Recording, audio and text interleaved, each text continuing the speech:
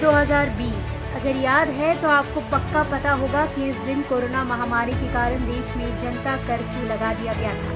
प्रधानमंत्री नरेंद्र मोदी ने 2020 में इसी दिन कोविड 19 महामारी को देखते हुए इसका ऐलान किया था। अब ट्विटर पर फिर से हैशटैग जनता कर्फ्यू ट्रेंड कर रहा है। लोग इस पर अपनी राय से ज़्यादा अपने द्वारा बनाए गए फनी मीम्स शेयर कर रहे हैं। आपको तो याद ही होगा कि किस तरह जनता कर्फ्यू के दिन पाँच बजे आपके कानों में थाली पीटने की आवाज़ गई होगी नहीं याद है तो ठीक है, एक बार फिर सुन लीजिए।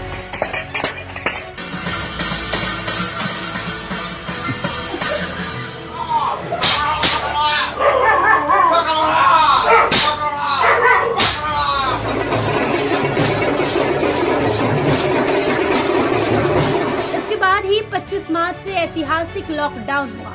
इन दो साल में लोगों का जीवन ही नहीं, प्रकृति की तासीर भी बदली। तब मानो जीवन ठहर सा गया। घरों में भी कोरोना का खौफ था।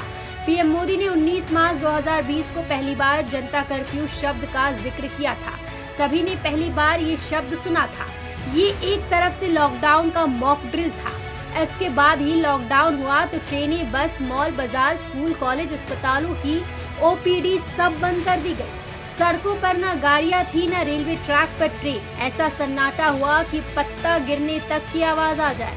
Bureau report metro Mumbai.